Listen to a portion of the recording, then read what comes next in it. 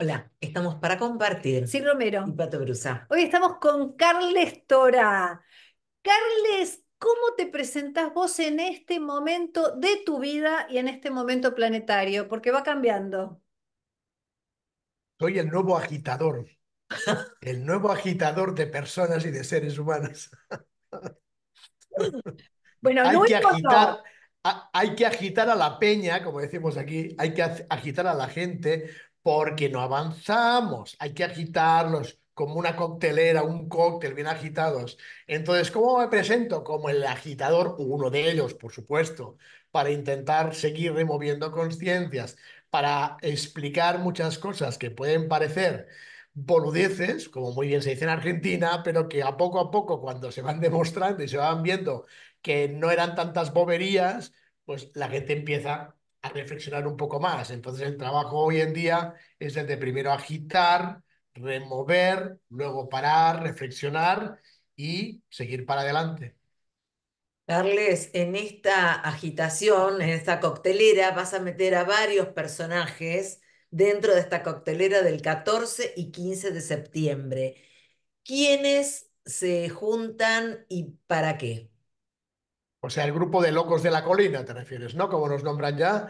Bien. Bueno, pero el grupo de locos de la colina eh, son personas muy potentes, muy buenas, que mucha gente les escucha. Ya no digo sigue, pero sí escucha. Y es un gran placer, eh, es un gran esfuerzo, pero es un gran placer el decir que dentro de... Ellos llegan todos dentro de dos días, o sea que dentro de... No, dos, es lunes, dentro de tres días los tengo aquí a todos. Y claro, no solo el evento, ahora iremos haciendo grabaciones en directo y en vivo cuando vayan llegando, pero personas, bajo mi punto de vista, no sé lo que pensaréis vosotros, tan importantes, y, yo creo que la mayoría vosotras las, los conocéis bien, personas tan importantes como el doctor Alejandro Zaleta, que tengo que decir de él, eh, Roberto Neotolteca, eh, Johanan Díaz Vargas, eh, la gran sorpresa de que al fin tendremos también en directo a Víctor Ayala y los tres guías, que mucha gente está también detrás de, de, de, de escuchar esta, esta versión y tenemos muchas novedades que no he contado hasta ahora, ya mejor me animo de a contarlas aquí, vamos a ver. No, y no, después no. también tendremos... No te queda opción. Acá las vas Ah, a. ok. Ok, vale, de La acuerdo. Oportunidad, De ahora. acuerdo, vale, de acuerdo, acuerdo, acepto, acepto. Y después también eh, pues estaremos con Willy Olsen de la firma de Dios y el presidente de- del CAI International Group, que no sé si estará en directo o estará online. Al final, eh, los hombres de negocios sabéis que están muy ocupados, pero de alguna forma lo tendremos. Y un servidor intentando allí organizar como se puede.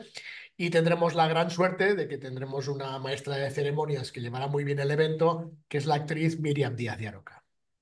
Amamos. Es amiga, amiga nuestra. Eh, Entonces, imaginaros, chicas, el elenco de personas que tendremos juntas desde este jueves, que empiezan a llegar todos, hasta el lunes 16. O sea que yo los voy a tener desde el día 12 al día 16, allí conmigo, en el sitio donde hacemos el evento, que es el Hotel Meliá Villaitana en Benidorm, en la provincia de Alicante.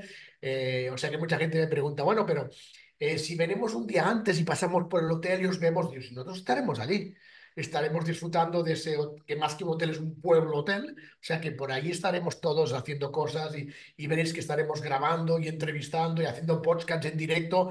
No, va a ser brutal, no solo el 14 y el 15, eh, sino que estaremos cuatro días disfrutando eh, de muchas sorpresas, muchas sorpresas y como os digo, alguna novedad que quizás si me tiráis de la lengua hoy os contaré.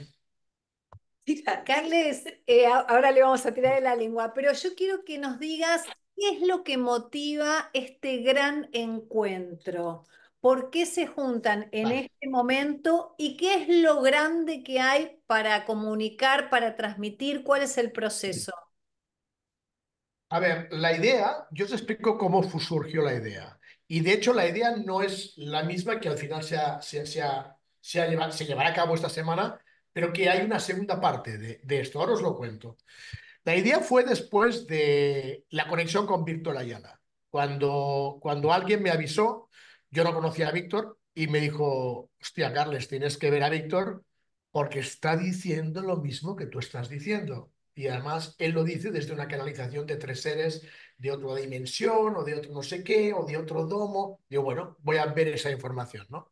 Entonces me pasaron un vídeo un vídeo de Víctor muy interesante que os lo recomiendo, no sé cómo se llama porque tiene tantos ya el, el hombre, en el que él como buen arquitecto que es y buen y dibujante, está canalizando con los tres guías y él está dibujando la forma de la Tierra, según la información de los tres guías.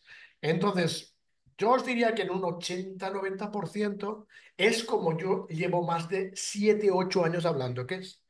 Y por primera vez aparece alguien que está no solo diciendo, sino que está dibujando lo que yo llevo 6, 7, 8 años hablando. Una locura rápidamente empiezo a mirar vídeos de él y no solo eso, sino que está dando mucha información de la misma manera que llegan con sus tres guías, de la misma manera que hace 5, 6, 7 o 8 años me llegaba la información de Nimroy, que entre comillas sería mi guía. O sea que la información de Nimroy, mi información con la que le envías los tres seres, es muy parecida. No al 100%, pero muy parecida. A partir de aquí aparece un tercer personaje un tercer personaje llamando, llamado Diego Leverone. Diego Leverone, llega la información de Diego, hablamos con Diego, y claro, yo digo, espera, espera, espera, espera. Víctor, Diego, los guías de ellos, si me meto yo humildemente ahí en medio, con, entre comillas mi guía, espera, espera, que tengo que hablar con Alejandro. Entonces, claro, yo tengo mi información del teléfono rojo, pero Alejandro tiene la información del teléfono negro, que es su teléfono. Entonces, es una unión de los cuatro. ¿Por qué? Porque lo que los guías, entre comillas, nos dicen es de que tenemos que agitar, como os decía al principio, porque sigue habiendo mucha, mucha, mucha desinformación por todas las redes. Unos que hablan de salvación, otros que hablan de destrucción, tenemos de todo, hay un pupurre de informaciones y ninguna es veraz. Todo es desinformación. No hay una auténtica información, no voy a hablar de nombres, pero hay mucha gente que cuenta muchas cosas y los guías, no lo digo yo, ¿eh? los guías dicen, mm, no, no vamos por ahí. Cuando yo pregunto al teléfono rojo, oye, lo que ha hecho esta persona, me dicen, no, no tiene ni idea, o este es un payaso, o este es un tonto, o este es un loco, o esto es lo que sea. Entonces, yo siento de que esta información de estos guías, que además, sin conocernos al principio, excepto, exceptuando a Alejandro, que si llevamos más tiempo trabajando, sea tan parecida, yo dije, no, aquí tenemos que montar algo. Lo que pasa es que, claro, el problema son las agendas de todos. Y poder realizar un encuentro todos juntos en un sitio determinado era muy complicado. Mi agenda está más complicada a final de año que no ahora. Entonces yo dije, mira, yo, yo quiero montar algo en España, porque además yo viajo mucho a Argentina, viajo mucho a México, hacemos muchas cosas y todo el mundo, es que en España nunca hacéis nada. Digo, bueno, voy a ver si mi bolsillo queda algún euro y me monto yo un evento y que sea lo que Dios quiera. En ese momento yo solo podía organizar el evento en esta época, o sea, en el mes de septiembre. Cambié dos veces también el evento porque también tenía que estar Robert Martínez, era la otra persona que nos faltaba, pero en ese momento era imposible. Porque también lo mismo, su agenda estaba a tope. Entonces yo dije, bueno, vamos a hacer una cosa. Montamos un primer evento en España porque yo ya siento que algo tenemos que hacer en España. ¿Quién puede estar en el evento en septiembre? Bien, pues conseguí al final convencer después de muchas llamadas y de mucho insistir, Alejandro, Roberto, Víctor, eh, Johanan, Willy, César, bien. Y luego se está viendo la posibilidad de para principios de año o antes de llegar al primer trimestre del año que viene, ya también con Diego y ojalá también con Robert, de hacer una segunda parte, y ahí lo dejo entre comillas, o hay dos posibilidades, o México o Argentina. Claro, hay una tercera posibilidad, que es México y Argentina. Claro. Vamos a ver. Entonces, primero lo que yo dije es, bueno, a ver, yo llego hasta aquí, no me quedan más euros. Yo organizo esto de España, veremos cómo va, y si luego para primeros de año alguien puede organizarlo, como ya hizo en su tiempo Piero desde México, o si alguien en Argentina puede hacerlo, pues vamos con todo. ¿Por qué? Porque lo que los guías nos están diciendo es que, según ellos, y yo estoy de acuerdo, y la mayoría también, es que tenemos que intentar juntarnos para que toda esa información de guías la podamos soltar en vivo y en directo y contar muchas cosas que, por desgracia, y luego ahora lo digo muy seriamente, no se pueden contar aún por Internet, pero que en un evento en vivo podemos contar muchas cosas, muchas más cosas de las que no se pueden contar, porque repito, por desgracia, todavía tenemos muchos tabús y muchas palabras que tenemos que encriptar o no, y todavía se hacen complicados ciertos temas. Pero en directo es otro tema, en directo es otro tema. Entonces, así surgió la idea de decir, bueno, haremos un primer evento con estos ponentes que ahora pueden, y luego más adelante, juntando a Diego, juntando seguramente a Robert y quién sabe, si más gente, podamos seguir agregando personas para que intentemos dar una, ¿cómo os lo diría para que lo entendáis? Una información más unificada. Porque mi opinión, no sé qué pensáis vosotras, chicas, pero mi opinión es que escuchamos a muchas personas y a lo mejor nos encantan muchas, pero hablan de cosas diferentes y no están, no, no, no, no sincronizan la información de uno y con otro. Pero nos encantan las dos o las tres o las cuatro y dices, bueno, al final con qué me quedo. Porque escuchas una que te dice, no, ya ha llegado la luz, ya, ya estamos salvados. Te escucha otro, no, no, es que ya llega el apocalipsis. ¿Y sabéis qué, chicas? Al final nunca pasa nada. Ni unos ni otros. Entonces, los guías llegan al final a una conclusión de, a ver, aquí a los pobres humanos los propios humanos comunicadores les están metiendo una, una mezcla de información que en ellos mismos saben dónde pisar.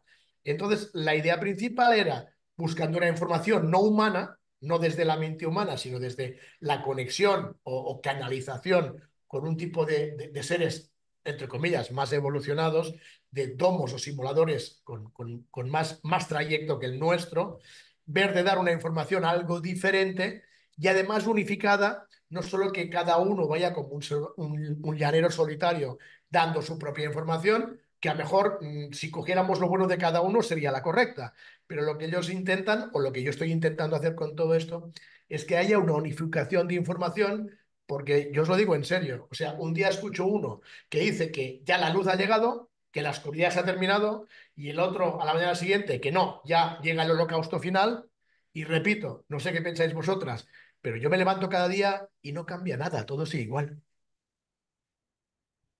Para mí suceden muchísimas cosas, las siento todos los días y nosotras básicamente apelamos al discernimiento de cada persona. Porque vos fíjate que nosotras somos comunicadoras y somos puente de todas estas informaciones. Y muchas veces hay gente que se le abre la conciencia gracias a escuchar una información y otro le viene por otro lado. Entonces, y apelamos a esta libertad que cada uno tiene que en este momento asumir y ser soberanos de qué es lo que va sintiendo, porque no es solo lo que pasa, sino lo que uno va sintiendo por dentro. Carles, em, te quería decir... También es, cierto, también es cierto que cada persona es diferente, somos muy diferentes, y lo que dices tú, Pato, es muy coherente, porque a lo mejor uno tiene que escuchar a uno y otro a otro. Son distintos estados de conciencia y también en esto de que nadie tiene la verdad absoluta, sino que hay una claro, vamos despertando con distintos impulsos, distintos estímulos, pero que está pasando de todo, a nosotras no nos cabe duda. Eh, del 2020 hasta acá, el salto cuántico, el salto evolutivo, nosotras lo vemos mm. en nosotras mismas.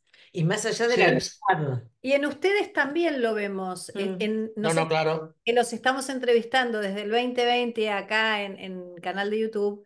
Vemos también las mm, transformaciones. Cambios. Sí. Lo que pasa que en general, cuando tú vas a la calle y sales de la calle, en general ves que la gente sigue igual desde hace 20, 30, 40, 50 años. Eso no quiere decir que haya personas que sí están, estén aprovechando información, datos y estén evolucionando, pero hay muchos más que no. Y entonces el día a día es exactamente igual prácticamente para todos porque siguen en el sistema, siguen en la sociedad, siguen creyéndose todo lo oficial y no avanzan. Y es cierto que hay personas que sí cambian y sí les ayuda, no digo que no, solo que para mi gusto hay demasiadas personas, demasiadas aún, que tienen que hacer el cambio y no lo hacen. Sí, también es cierto, Carles, que cada vez hay más gente con la que uno puede hablar de estos temas, mm. discernir. Bueno, nosotras mismas mm. crecimos en, en, audiencia y cada vez hay más gente en distintos ámbitos personales o sociales en los que en un cumpleaños, en una reunión, en el partido de fútbol del hijo, Ah, sí, porque el gran despertar de la conciencia, y hace 3, 4 años eso no se escuchaba, Sí, sí. ¿no? De forma tan habitual. Vamos por mucho más, sí, y nosotros también eso es lo que estamos haciendo, es la razón por la que estamos acá. Pero Por eso hay que compartir. sí, por eso es para compartir. para compartir. Carles, Game Master Más allá de la verdad, 14 y 15 de septiembre. Eh, dijiste que es en Alicante, en un pueblo que se llama Benidorm. Benidorm. Benidorm, bien. Con toda esta gente agitando al público que tenga ganas de agitarse, porque hay muchos que todavía siguen apelmazados, pero digo, el que quiera agitarse, el que quiera escuchar otras voces, ¿cómo los invitamos, Carles? Pues entren en la página web carlestora.com y desde allí hay un enlace directo para acceder a, a lo que es el evento, que cuidado, empieza ya, ya mismo en cuatro días. El, este próximo sábado, día 14, es el evento. Y luego el domingo 15 mmm, forma y no forma parte del evento, porque la idea, como los ponentes se quedan hasta el lunes 16 y todos parten ya hacia sus lugares el lunes 16, eh, dijimos, bueno, el domingo estaremos igualmente todos aquí disfrutando en el Hotel Meliá Villaitana. Eh, ¿Qué podemos hacer? Entonces se nos ocurrió entre todos que el mismo sábado las personas que vengan al evento, eh, porque me están diciendo muchas personas incluso que están cogiendo habitaciones en el mismo hotel para quedarse también y disfrutar del lugar dos o tres días. Y claro, pues es fantástico, ¿no? Porque el lugar tiene siete, ocho piscinas climatizadas, no climatizadas, tiene spa, tiene gimnasio, bueno, es, es, es, como os decía, es un pueblo, hotel pueblo, es enorme y es un sitio maravilloso de la cadena de Amelia. Y entonces, no, no, no, es que esté haciendo promoción de Meliá, que no me pagan, pero lo digo porque realmente es un lugar, ¿no? un lugar que mi familia y yo eh, vamos muy a menudo, porque lo tenemos bastante cerca de nuestro territorio y es un lugar que nos encanta y por eso escogí este lugar, ¿no? Y además conozco muy bien ya a la gente que lo dirige y bueno, para mí es, es el sitio ideal. ¿Hubiera sido mejor Barcelona o Madrid? Sí, seguramente sí pero tenemos tanto trabajo que yo desplazarme a Barcelona, Madrid para ir controlando todo me era complicado. En cambio, en cambio tener un lugar tan maravilloso a, 10 minutos de, de, mi casa en la montaña era perfecto. ¿no? Entonces lo que se nos ocurrió para el domingo 15, y yo creo que esto va a ser muy interesante, eh, claro, el, el sábado tendremos ponencias, pues cada ponente tendrá, pues pongamos una hora y media para exponer su, su charla. Eh, tendremos tiempo para hacer mesas redondas, que eso a mí me encanta. No solo que salga un ponente y hable, sino que me gusta que haya momentos en el escenario en que igual estén los dos, tres, cuatro todos y vayamos compartiendo temas uh, diferentes todos juntos. O sea, pero evidentemente mmm, no es lo mismo que un contacto directo con el ponente en sí. Entonces, lo que se nos ocurrió para el domingo es que las personas que el sábado vieran que sería interesante hacer un privado con cada ponente, y cuando hablo de un privado me refiero a grupos pequeños, de quizá 20 o 50 personas máximo, cada uno de los ponentes tendrá una sala en la que podrá pues, recibir a grupos no demasiado grandes, bueno, cada uno hará lo que quiera, en mi caso yo prefiero grupo, un grupo no más de 50, que haya más conexión, porque si metes otra vez 300 personas, pues no puedes aprovecharlo ni mucho menos.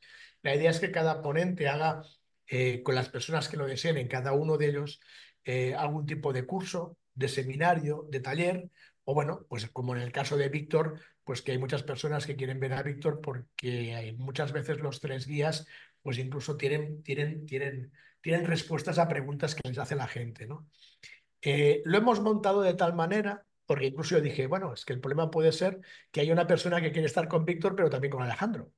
Entonces, lo que vamos a hacer es que el domingo eh, vamos a desglosar todo el domingo para que eh, uno empiece a las nueve, el otro a las diez y media, el otro a las doce, el otro, y una persona durante el domingo, pues si quiere puede verlos a todos, ¿no? Eso es un poco la idea. Entonces, por eso es la diferencia entre el 14 y el 15. El evento es el 14 en general, eh, se abrirá las, o sea, empezará a las 10, pero abriremos puertas 8 o 9 eh, para organizar bien todo y terminará sobre las, yo calculo que sobre las 9 de la noche. Hay unas entradas VIP que lo hicimos en México con Piero y me gustó mucho lo que montó Piero en México cuando estuvimos el año pasado con Arlequín, que estuvimos haciendo el programa con Más allá de la Matrix. Me gustó mucho lo que hizo Piero de las VIP, que las VIP, eh, independientemente de que son los asientos de delante, que es lo que ves más claro, lo que es la ponencia, eh, las personas tendrán la posibilidad, habrá un backstage donde los que no estén en ese momento exponiendo van a estar en un backstage. La gente que tiene el VIP podrá entrar en el backstage, podrá hablar directamente con los ponentes y luego les entra también una cena de gala en la, en la noche, donde en el mismo backstage se montará unas mesas para hacer una cena con los ponentes. Entonces habrá también unas entradas VIP a diferente precio que podrán aprovechar pues mm, más directamente para estar con los ponentes. Yo creo, y lo hicimos en México y, y me gustó mucho, porque bueno, Arlequín y yo estuvimos con Piero los tres organizando todo eso y al final tuvimos que hacer dos cenas porque la primera se llenó y había más gente que quería y tuvimos que hacer dos días seguidos, ¿no? Bueno, si en este caso ocurre y tenemos que hacer otra cena el domingo, lo haremos, no os preocupéis, porque como os digo, nosotros igualmente nos quedamos hasta el lunes 16. Entonces, esa es un poco la, sí. es un poco la disposición de cómo irá el, el programa. Eh, vamos a lo nuestro. ¿Qué está pasando en el planeta Tierra? Vos ya sabés saltear el algoritmo. ¿Qué está pasando? ¿Qué es lo que es necesario hoy comunicar? Bueno, mi opinión, ¿eh? Sí. mi opinión sobre la información que antes era información del teléfono rojo. Ahora esto ha cambiado. Ahora la información es de Ventot. De Ventot es la parte equilibrada que está a favor del ser humano, no a favor de lo que es la élite. Entonces, tenemos información muy fresca de todo lo que está ocurriendo en el planeta y yo diría que un 50%. ¿Por qué digo que un 50%? Porque las intenciones de los que nos siguen manipulando mm. cada vez son peores, cada vez es, es más duro y crudo lo que está por llegar. O sea, yo estoy empezando a hablar ya de una nueva eh, de un segundo pandemonio. Lo digo de esta manera para que el algoritmo no nos distraiga. Un segundo pandemonio y ya estamos dando información incluso de cómo llegará, cómo está llegando, porque ya está llegando.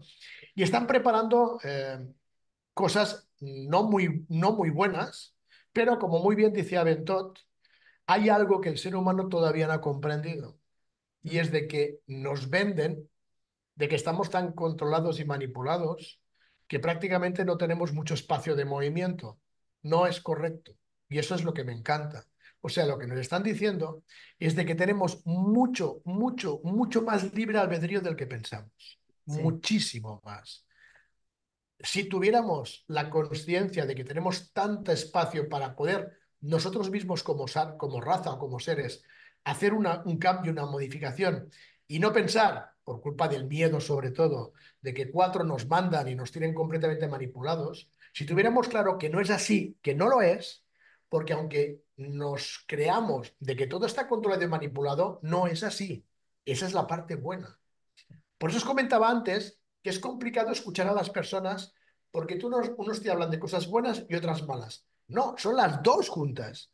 Tenemos los dos lados. El lado complicado, pero tenemos un lado muy bueno. Pero chicos, ¿cuál es el tema? El tema es que depende de nosotros. Y si nosotros no, no nos movemos, si no tenemos a alguien que nos agite de nuevo y no hay un despertar más masivo, no me gusta la palabra despertar, pero es para que lo entendamos, esa parte más oscura sigue teniendo las de ganar, porque por mediación, sobre todo del miedo, de las emociones y del control mental, que aunque no nos, no nos los creamos, el proyecto de Mica Ultra está más potente que nunca, más potente que nunca. Si no hacemos algo al respecto, al respecto, no tenemos buenas noticias. Pero en cambio, lo bueno es que tenemos más espacio de movimiento del que creemos que tenemos. Por eso cuando hablamos de los mensajes del cuántico, que con vosotras hemos hecho programas especiales y cogemos el primero, que es cree, cree, cree en ti, cree en ti, pero, pero no te das cuenta, pero somos, no, somos, no somos semidioses, somos, somos creadores auténticos. Si utilizáramos ese gran potencial que tenemos, sí, los que dicen que viene la luz, ya, ya estaría aquí en cuatro días. El problema como os decía antes, que sí, que es cierto, estoy de acuerdo, cada vez parece que hay más gente que está entrando dentro de este rol y está comprendiendo, y tú lo decías, Pato, cada vez hay más gente que podemos hablar del tema. Sí, pero la gran mayoría sigue en el otro lado. Entonces, ¿vamos caminando? Sí, pero bajo, mi punto de vista, seguimos yendo muy despacio. Mm. Es mi, mi punto de vista. ¿Caminamos? Sí, podríamos estar parados, porque ha habido épocas que hemos estado parados. Entonces, ¿caminamos? Sí, tenemos un movimiento, pero vamos en forma tortuga. Y lo que nos dice Bentot, lo que nos dice este tipo de, de código o de, o, de, o, de, o de ser o de organización que busca el equilibrio para ayudar al ser humano, es que tenemos que darle tres marchas más, porque si no las damos, eh, al ritmo que vamos, nos van a meter bomba, otra piedra en el camino. Y luego, pues si tenemos que esperar 50 años más, ¿para qué? Ya no estaremos. Eh, ese es el tema, que la situación de hoy en día sigue estando exactamente igual porque nosotros le tenemos que dar unas cuantas marchas más. Sobre todo me han dicho, olvídate de la política. Olvídate de tanta información que si las elecciones americanas, que si esto, que si, que si España va bien, que si Argentina el presidente, que si no sé cuántos. Dice, olvidaros de eso. No entendéis de que todo eso, evidentemente, es importante, no digo que no, pero al ser humano, ¿de qué le sirve? O sea, lo que nos sirve es un trabajo interior para intentar hacer este salto, para abrir más los ojos y darte cuenta de que tú, cada uno de nosotros, si lo supiéramos, tenemos la capacidad crear nuestro propio destino así, que eso es lo que nos falta. Entonces, por eso digo, yo digo yo, es muy complicado porque por las redes oímos tantas cosas que estamos muy atentos a una cosa y tenemos que abrir más. Tenemos que la ventana abrirla más y darnos cuenta de que no solo tenemos que decir lo que diga este o el otro o el otro o este, sino que todo está en nosotros, que vuelve a ser el segundo y tercer mensaje del cuántico, que era vida y corazón, que todo sale de tu interior, todo sale en tu capacidad y si volvemos a pensar que estamos en un juego, caramba, chicos, juguemos, juguemos, porque, porque el otro problema es que si estamos en un juego, yo, yo también lo decía antes, yo decía game over. No, no es game over, porque si tú dices game over, significa que ya has tirado el juego, o sea, el juego se ha acabado. No, no, el juego no se ha acabado. Estamos en el juego juguemos. Ah, no, es que yo no sé que estoy en un juego. Vale, pues entonces tu ficha, que existe, no la mueves tú, la mueve otro. Somos unos avatares como títeres, y de hecho mucha gente, te aseguro, os aseguro que es así.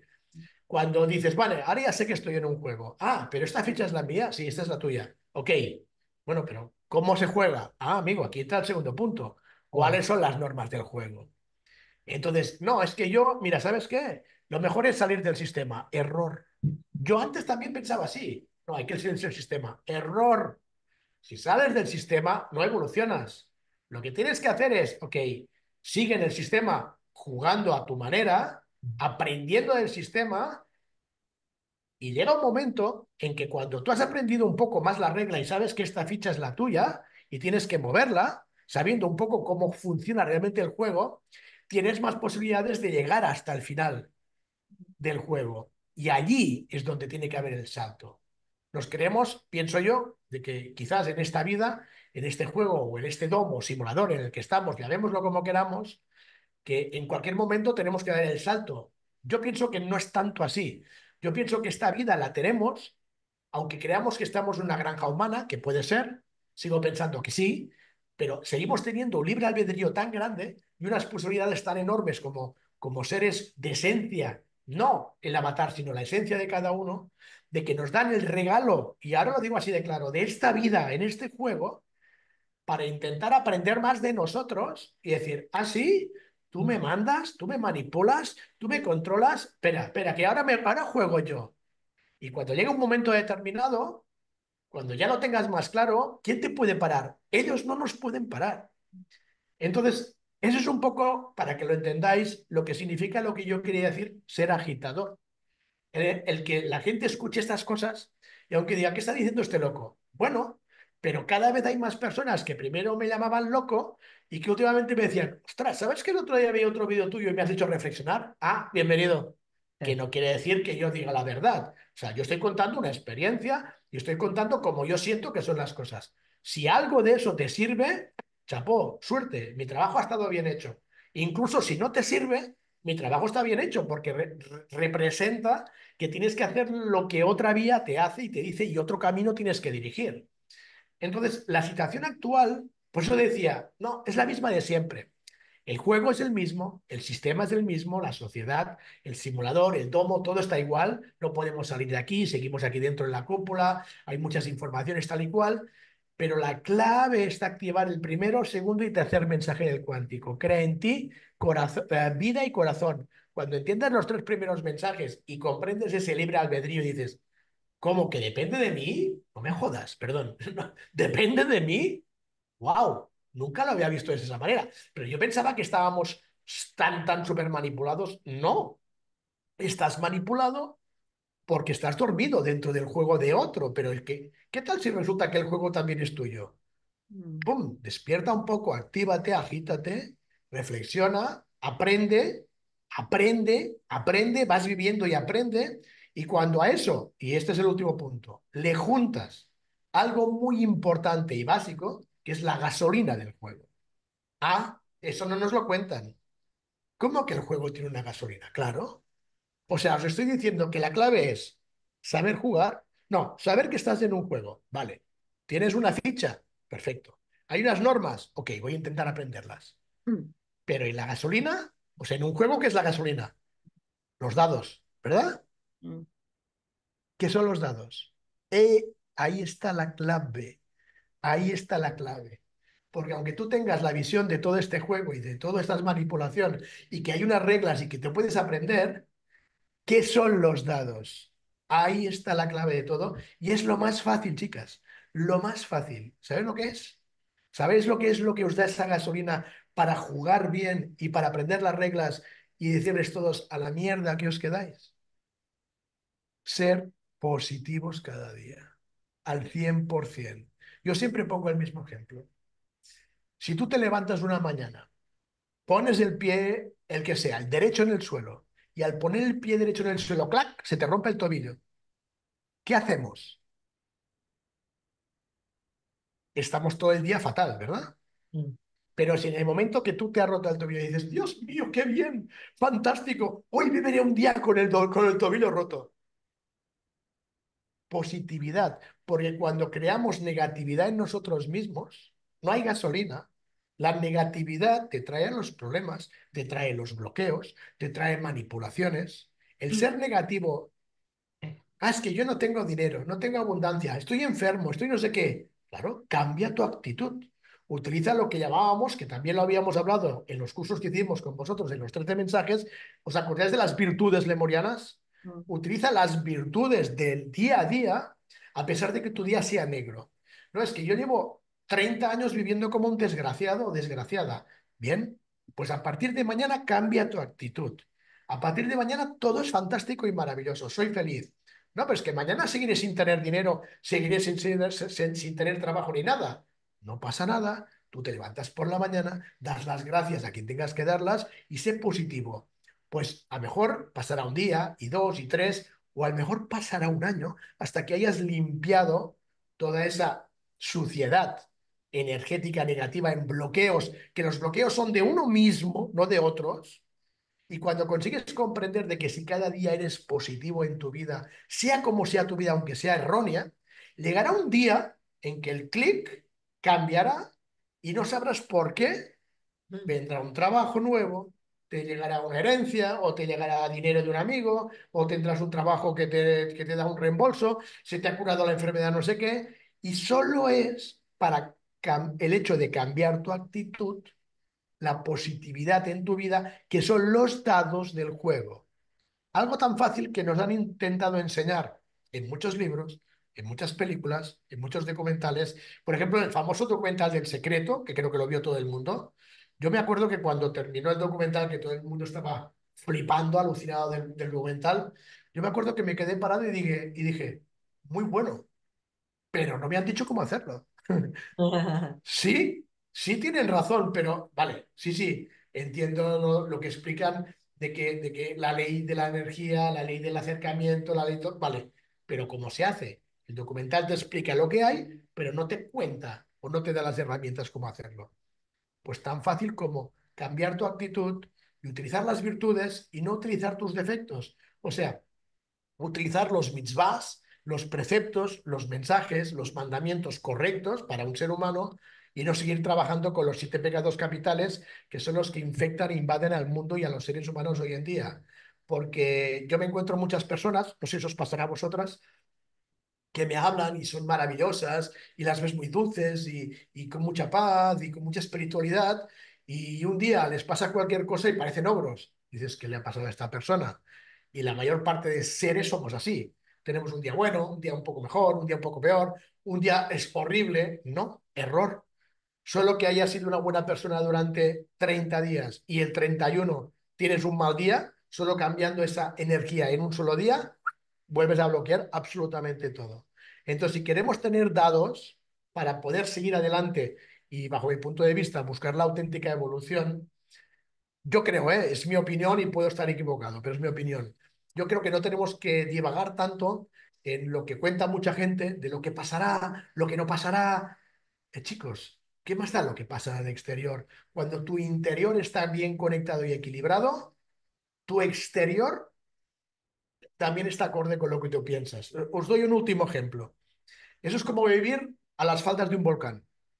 Por ejemplo, me pasó una vez estando en el Popocatépetl, en México. El Popocatépetl tiene dos laderas importantes, digamos, la que da Ciudad de México y la que da Puebla o a Cholula en el otro lado. Bueno, siempre hay una de las dos laderas que es un poco más complicada que la otra, pero en el fondo, pues las dos están al pie del volcán. Y yo recuerdo un chamán, un chamán mexica, allí en Puebla, estando en Puebla, eh, yo decía, él vivía allí, y yo le decía, ostras, si no tienes miedo de vivir a las faldas del volcán. Y ese día lo comprendí, porque ese día me dijo, no, ya ves que no, porque realmente, a ver, si yo vivo en las faldas del volcán y el volcán tiene que, eru tiene que erupcionar y tiene que ser un desastre, mm, si yo hago bien las cosas, ese día estaré en el lugar correcto donde no caerá la ceniza. La ceniza caerá al otro lado. Pero si yo no hago mi vida correcta, seguro que estoy en el lugar equivocado. Es un pequeño ejemplo para entender de que hasta con eso tenemos el libre albedrío. De decir, aunque no lo sepamos, tenemos la capacidad de crear nuestro propio destino y estar donde tenemos que estar, eso sí, ya sea por bien o por mal. Si no hacemos bien las cosas, no estaremos en los lugares correctos, estaremos con las personas equivocadas y nuestra vida seguirá como hasta ahora, no seguirá evolucionando. Si hacemos las cosas más correctamente, tenemos posibilidades y tenemos oportunidades. Por eso, la cámara se mueve sola. Por eso, por eso parte, por eso parte del, del evento de este sábado y de la idea que tuvimos con los guías, es a ver si dando una visión diferente, desde un mundo dimensional distinto con seres no humanos, sino seres que canalizan con otros seres humanos, a ver si con esa información hay personas que puedan abrir un poco más la conciencia e intentar escuchar un poco más, porque a veces da la sensación de que quizá nosotros los humanos hablamos mucho y aunque digas que sí, al final poca gente te hace caso, pues porque, bueno, pues porque somos así, ¿no?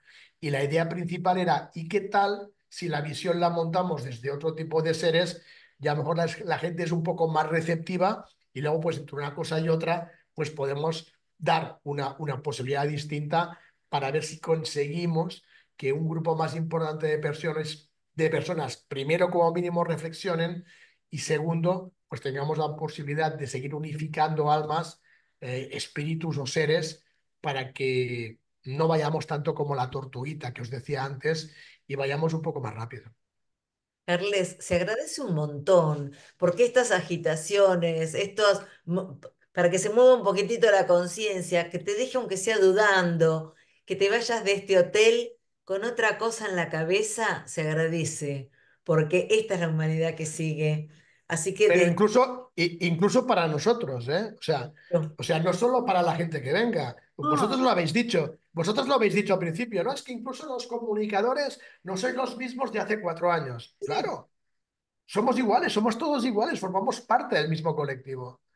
Por supuesto, eh, la idea es que el día 16, el día que nos vayamos del lugar, nosotros digamos, wow, qué maravilloso, pero no solo para las personas, para entender que incluso yo escuchando a Alejandro o a Roberto o a Johanna o compartiendo con Víctor o con quien sea, digas, ostras, qué bien, tengo más información, tengo más datos, me sirven para seguir moviendo los dados y participando en el juego para llegar lo más lejos posibles para realmente sí encontrar el camino correcto de la evolución, que es amor en acción.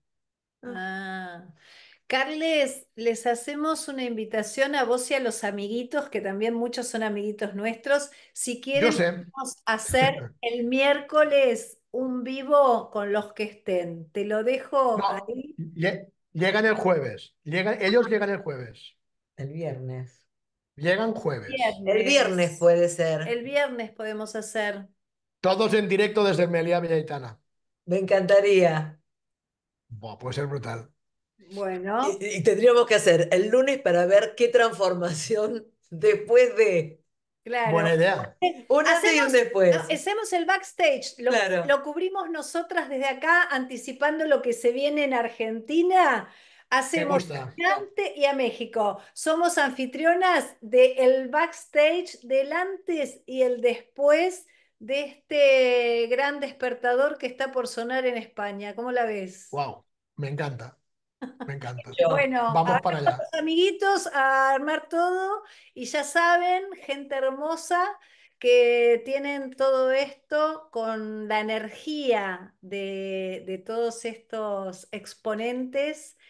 Si podemos tener a Miriam, por supuesto, porque es una anfitriona más que un lujo y además tiene una mirada, una parada, una coherencia de vida que nos hermana. Eh, así que bueno, el viernes sí. Ahora, ahora te digo, Miriam, que creo que llega, espera, ahora te lo digo, Miriam llega, no sé si llega el sábado, no, no, no puede ser. A ver, aquí está, porque me ha escrito hoy para decir la hora que llega. Hoy, hoy hablamos con ella. Si no, sí, eh, eh, sobre las 5 de la tarde ya está, allí, ya está por allí también el viernes. Bueno, 13. Bueno, ahora después, si querés, acordamos el que esté en presencia genial y si no, también puede ser que se, se sume por. No, el, el, viernes por la tarde, noche nuestra, estarán todos, seguro. Bueno, bueno, ahora lo acordamos, ahora lo acordamos y, continuamos con esta expansión. Muchísimas gracias, Carles, siempre un placer. Gracias. Besos. Y bendiciones para todos. Chao.